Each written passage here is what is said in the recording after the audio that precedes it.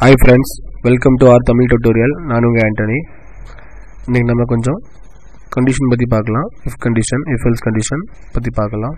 சரியா friends first of all if கண்டிஷனில் நான் இப்போ இது இது ஒரு ஸ்பெஷலான ஒரு கண்டிஷன் இது இங்கே போக பார்த்தா புரியும்.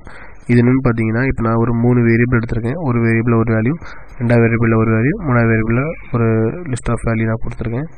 இப்போ மூணையும் நான் கால் பண்ணுறேன் முன்னாடி நம்ம எக்ஸிக்யூட் பண்ண பிறகு என்ன பண்ணிக்கன்னு பார்த்தீங்கன்னா இந்த எனி அதாவது இந்த எனி ஃபங்க்ஷன் என்ன பண்ணுன்னு பாருங்கள் சி அதாவது சியை விட பி பெருசாக இருக்கான்னு பார்க்குது. இல்லை சி சியை விட பி பெருசாக இல்லை. ஏன்னா எக்ஸ்ட்ரா ஒரு வேல்யூ டென் இருக்குது இதில் ஃபைவாக தான் இருக்குது ஸோ அதனால் ஃபால்ஸ் இப்போ சி கிட்ட தான் ஏன்னு பார்க்குது. ஆமாம் நெக்ஸ்ட்டு சி கிட்ட தான் பி மறுபடியும் அதே தான் நான் அதே தான் இங்கே பண்ணி திருப்பவும் பண்ணியிருக்கேன். சரியா? சரியா? சி தன் பி இந்த மாதிரி ஃபங்க்ஷன்ஸை யூஸ் பண்ணி நம்ம இந்த எனி ஸ்டேட்மெண்ட் வச்சு பார்க்கலாம். சரி எனி ஃபங்க்ஷன் வச்சு பார்க்கலாம். நெக்ஸ்ட் நம்ம இஃப் ஸ்டேட்மெண்ட் போகலாம் சரியா? நான் ஏற்கனவே செஞ்சு வச்சுருக்கேன் இஃப் ஸ்டேட்மெண்ட்டில் அதை வச்சு நம்ம பார்க்கலாம். இப்போ என்னென்னு பார்த்தீங்கன்னா இன்டீஜர் வேல்யூ நம்ம இன்டீஜர் வேல்யூ என்னென்னு பார்த்தீங்கன்னா எக்ஸ் ஆஃப் தேர்ட்டின் இப்போ வெறும் எக்ஸ் ஆஃப் தேர்ட்டின்னு கொடுத்தீங்கன்னா அது இன்டீஜர் கிடையாது. நியூமெரிக்காக தான் எடுத்துக்கிறோம். X of thirty of L எக்ஸ்ட்ராவாக நம்ம கேபிட்டல் சேர்த்தா தான் அது இன்டீஜராக எடுத்துக்கிறோம். பாருங்கள்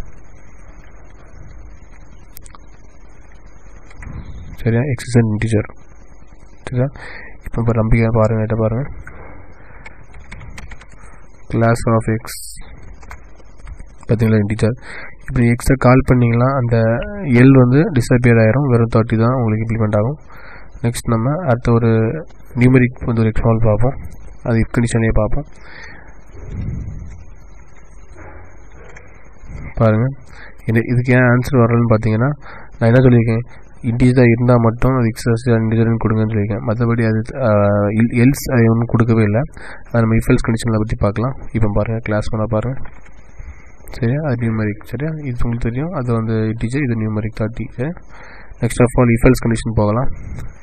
சரியா இஃபல்ஸ் கண்டிஷன் என்ன பண்ணியிருக்கோம்னா அதே தான் இதை இதே தான் பண்ணியிருக்கேன் ஜஸ்ட் நான் தேர்ட்டி அதாவது இன்டீஜர் தேர்ட்டி வந்து இன்டீஜராக இருந்ததுன்னா இன்டீஜராக பிரிண்ட் பண்ணணும். இல்லைனா நியூமெரிக்காக பிரிண்ட் பண்ணணும்.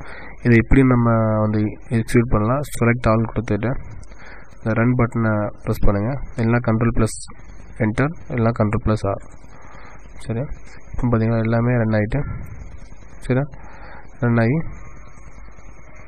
சரியா ஃப்ரெண்ட்ஸ் ரன் ஆகி என்ன வரும்னு பார்த்தீங்கன்னா எக்ஸிசன் நியூமெரிக் சரியா? இன்னும் கொஞ்சம் நீங்கள் எக்ஸ்ட்ரா நிறையா போட்டு பாருங்கள் இன்டிஜரில் uh, இந்த சாரி இந்த இஃப் லூப்பில் இஃப் லூப் இஃப் போட்டு பாருங்கள் thank you friends please subscribe my channel